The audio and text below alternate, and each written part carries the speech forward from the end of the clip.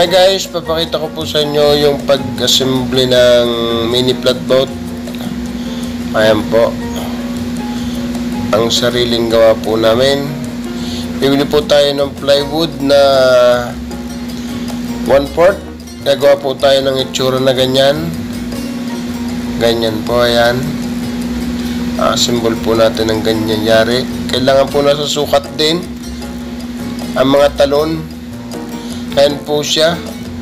Pinunasan po muna namin ng floor wax bago po namin i ano yung fiberglass. Ihulma yung fiberglass dyan para hindi po siya kapit, hindi po masira yung ating hulmahan. Ayan po. Yung pong pag nung po namin sa hulmahan, yan po yung aming sunod na ginawa. Nilagyan po namin ng PVC. Sukat po ng PVC ay 1 half. Yung pong ating ginagamit kalimitan sa ating mga gripo. Ayan po, ating lalagyan ng biyak sa gitna. Then susuot po natin siya sa ibabaw ng ating pinaka bangka. Ayan. Ganyan po guys. Lahat po yan, lalagyan po natin magkabila hanggang sa unahan. Pati po yung loob, nilagyan po mga siding kung tawagin natin ay yung ating ligason. Yan po, yung ibabaw po tawag dyan ay batula. Yan po ibabalutin po natin ng fiberglass pa din. Ayan. Napakagaan po niyan. 39 kilos lang po yung kabuuan ng kilo niyan. Pagkatapos na ayun po, pin, pinaka-finish product niya. Ayan po. Mga guys, Hindi ko magawa. Then, sunod po mga guys, yan po yung pagpapapugi na. Pinapapugi na natin. Nalagyan na po natin ng mga fiberglass. Ayan. Nalagyan na natin po ng mga ayan po ang itsura niyan loob. May bakal po siya sa loob. Yung mga talon po, nalagyan po namin ng bakal. Mahirap po yung wala. Dahil po pag siya ay medyo malakas yung makina, kailangan po hindi gumagalaw yung kasko. Kaya po bakal lang inilagay namin sa loob. Ayan. Pero po mga dingding po pa ah, PVC yan, yung ating pong ginagamit sa gripo. Yan po, pinapakinis na namin guys para sunod na namin dyan ay pagpa-primer. Ayan. Spray po ang gamit namin para mas ma ah tawag dito, mas madulas. Shine, baga shine. Kailangan i na shine ng ilalim para madulas yung takbo. Ganyan po, primer.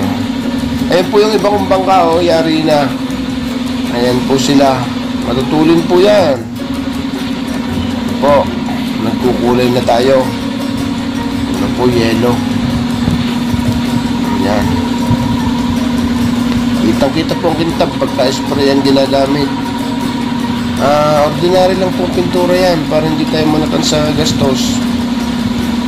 Ayan. Sana po may matutunan kayo guys dito sa paggawa ng bangka. Pasensya na po kahit hindi po kompleto. Ito po, nagpipintura na tayo.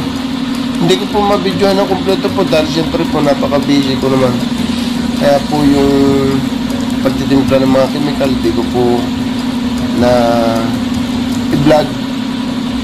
Ko na ipakita sa inyo. Sinsya na po mga guys. Ito na po yung finished product niya. Oh.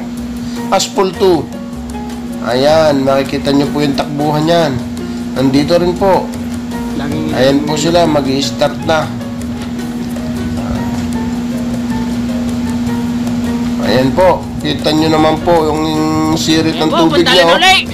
Kung gaano sila katutulin guys. Yeah, Oh. masama tayo ng Stop akin. po yung makina niyan. Masama tayo ng Puro akin. sumo po kami. Sumo, Malagpag sumo lover po kami. Ayan, medyo naiwanan tong isang ito pero hahabol pa rin po yan sa bandang huli. Ayan. Abutin pa ng akin yan. Full sumo po yan. Puro stock racing. So ayan guys, para po sa aking munting kalaman. Sana po kayo may natutunan kahit kulang-kulang yung pong aking ah, pagkaka video.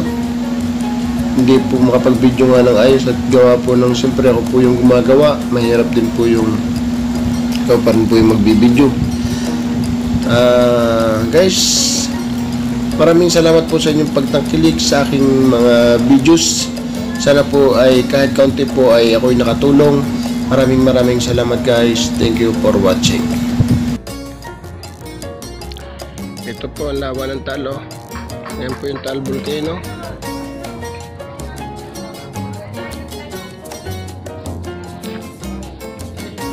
Po yung aking baby. New baby.